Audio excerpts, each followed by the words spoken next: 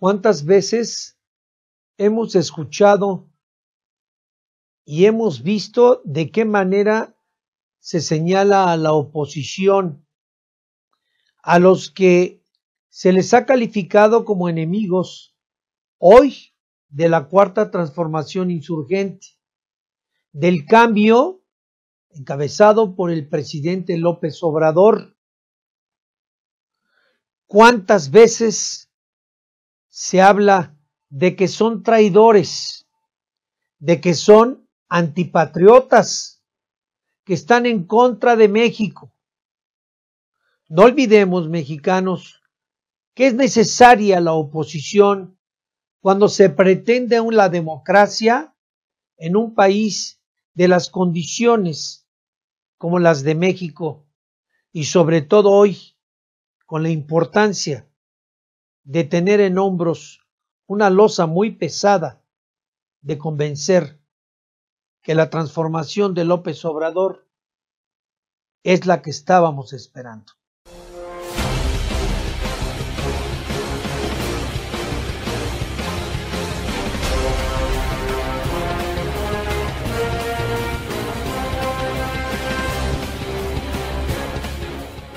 Efectivamente, mexicanos, ¿cuántas veces hemos escuchado aquello de que la oposición es traidora? La oposición está obstruyendo el andar, el caminar y los objetivos importantes de los gobiernos en turno, pero sobre todo hoy hablar de una cuarta transformación insurgente encabezada por un líder que no olvidemos que fue opositor a ese sistema de 36 años maldito neoliberalista. No podemos separar lo que hizo Andrés Manuel López Obrador por más de 40 años, con una lucha constante,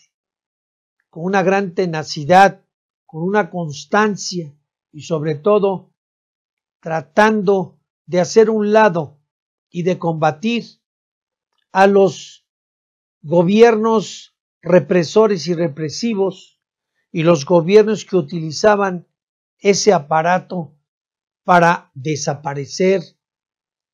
para hacer todo tipo de perversas actividades, para eliminar a los que ellos también en ese entonces consideraban esa oposición como un peligro para México, como perversa y como quienes iban a descomponer lo que ellos calificaron como gran mecanismo de cambio en el país. Hay que entender, mexicanos, aunque nos cueste trabajo. Hoy la cuarta transformación, después ese largo caminar del que hoy es presidente, Andrés Manuel López Obrador y de un puñado de hombres tan importantes que fueron y vivieron durante esos 40 largos años los momentos más complicados y terribles para la sociedad mexicana. Y que hoy a través y con el resultado del esfuerzo de hombres y mujeres convencidos que trabajaron, que tuvieron que enfrentarse a situaciones complejas y difíciles, y hablo desde persecuciones, asesinatos, desapariciones forzadas, y olvídese, una lista grande de barbaridades y bajezas que hacían los gobiernos neoliberalistas. Hoy le toca a esos que fueron perversos en su momento ser la oposición, ser los que se vencieron o los vencimos después de un largo caminar. Pero no olvidemos que para que exista la democracia en una sociedad, debemos de aceptar la diferencia y la divergencia de ideas. Debemos de aceptar que no se puede unificar el pensamiento porque los intereses, mientras que no laceren y lesionan a la comunidad, a los más, y sobre todo a los más pobres, a los más olvidados, tenemos que aceptarlo como un mecanismo que también sirve y permite para fortalecer los grandes cambios de la sociedad. La política no es un actuar que solamente se dé con temporalidad en las sociedades. La política es un ejercicio que la hacen los hombres y mujeres, no solamente quienes participan en los conocidos partidos políticos y que malamente en México se han convertido en negocios de orden particular. Habrá que entender, mexicanos, que la cuarta transformación, el presidente López Obrador y lo que estamos viviendo en el país, debemos entender y también debemos de comprender que las oposiciones son necesarias. ¿Cómo no entenderlo si en la propia cuarta transformación está compuesta por reciclados y por gente que fue parte de esos movimientos perversos de los últimos 36 años? ¿Cómo no entender que en la apertura de un cambio tenemos que ser abiertos a tener ideas divergencia y también aceptar las opiniones y los hechos de lo pasado, porque créame que no todo lo pasado ha sido verdaderamente malo. Hoy debemos de ser una sociedad, y se los digo con la claridad,